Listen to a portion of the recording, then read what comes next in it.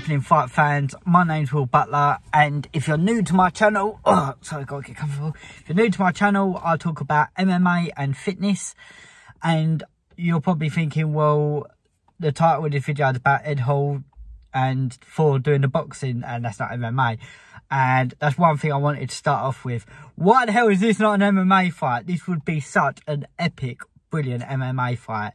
So that's first thing i'm gonna say. Let us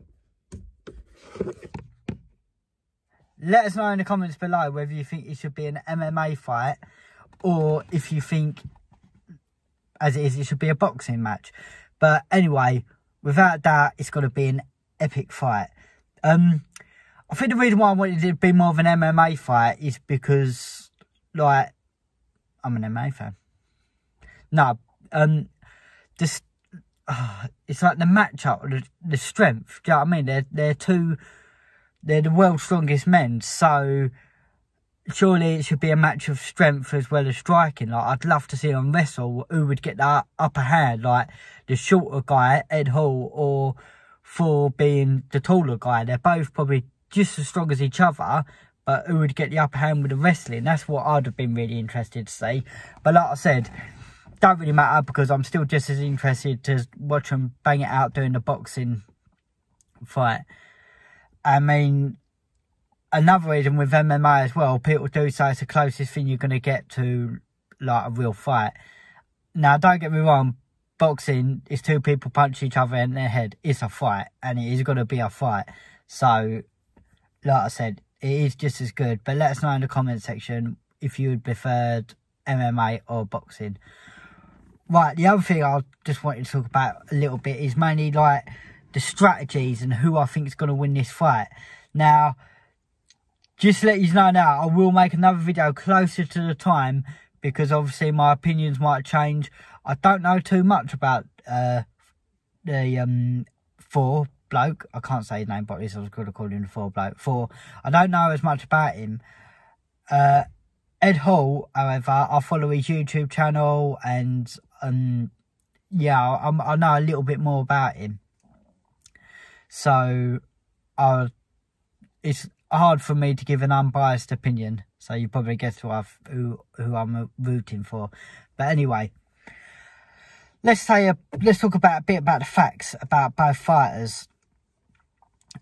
Ed Hall is six foot three, and Thor is six foot nine, I believe. I did quickly Google a lot of these statistics. They might be wrong. If they are, just let us know again in the comment section if they're right or wrong. But so Thor's got the the height advantage. That's if you like to call it a height advantage. That's one thing. Um. Also, ah, I can't.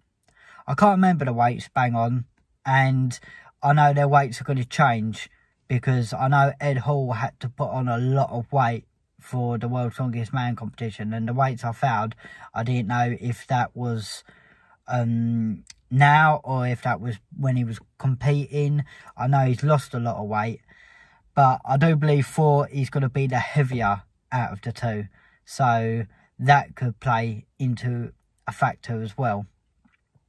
So, so far, it's not looking that great for Ed Hall because he's fighting a taller and a heavier opponent. Whether Thor try to lose, cut down weight, whether Ed will try and put on weight, I don't know what the strategies are, but what I would suggest is for Ed Hall to try and cut some weight and use more of a fitness advantage. I'm not saying he is fitter, I don't know who is fitter, but they're both just as strong as each other.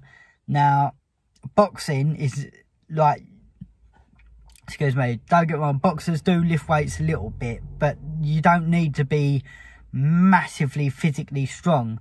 I mean, both fighters are going to be strong enough, obviously, to knock each other out.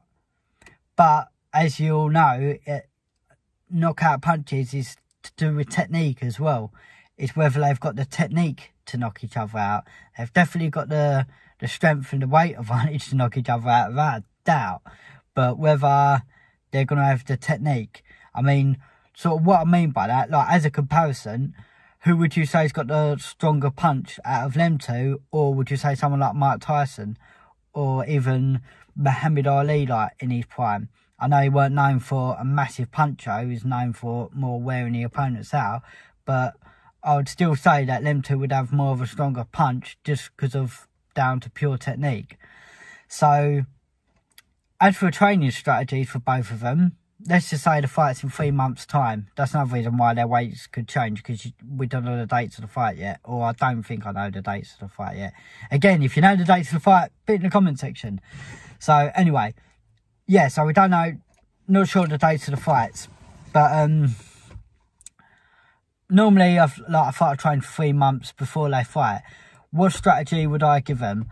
I would do nothing but sparring and hitting the punch bag, pad work that is it. That is the only three things I I would be doing with them. They don't need to do no strength and conditioning.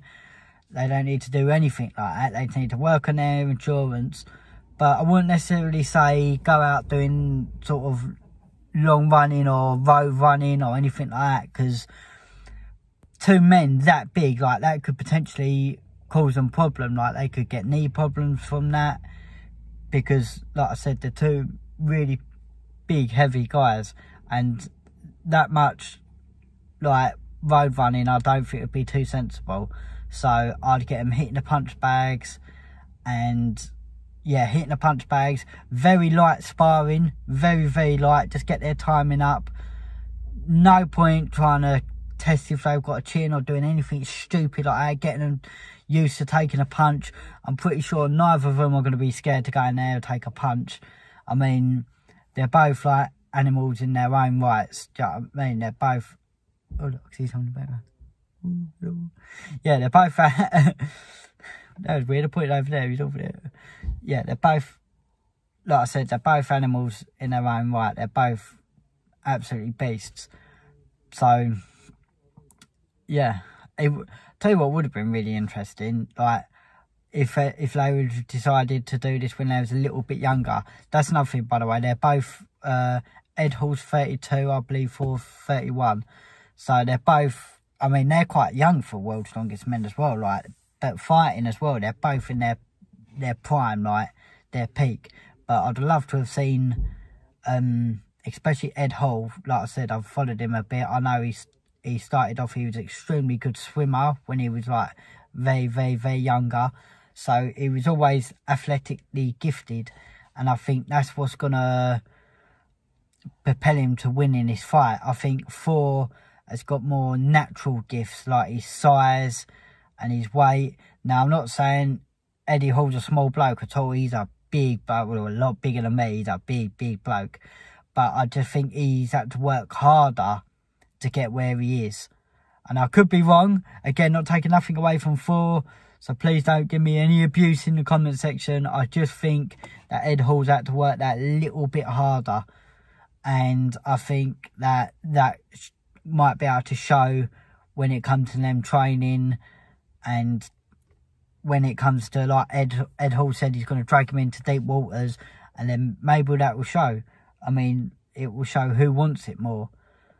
But yeah, I'm just I'm absolutely buzzing. I love I love fights like this. I love it when uh like Conor McGregor versus Floyd Mayweather, like the sort of exhibition fight things they say. I love fights like this. I'm definitely going to be tuning in. I'm just really really gutted. It wasn't an MMA fight. I mean, oh, I, I don't know. I just I know I'm an MMA fan, so I'm to say that. But I just think like if you're you both got the title for the world's strongest man, baddest man on the planet. Surely now it's got to be an MMA fighter. Like I've said before, it's the closest thing to a street fight. So there you go. But yeah, so anyway, my prediction, I think Ed Hall, my man, and I'm English as well, and Ed Hall's English, so I could be being a bit biased. But like I said, I will follow I will follow him a little bit more. I want to know more about that Thor bloke and I'll do a video. I'll try and do it a couple of days before the fight and I will say my final piece, who I think is going to win the fight. And uh, yeah, just can't wait for this fight to happen. See you all soon.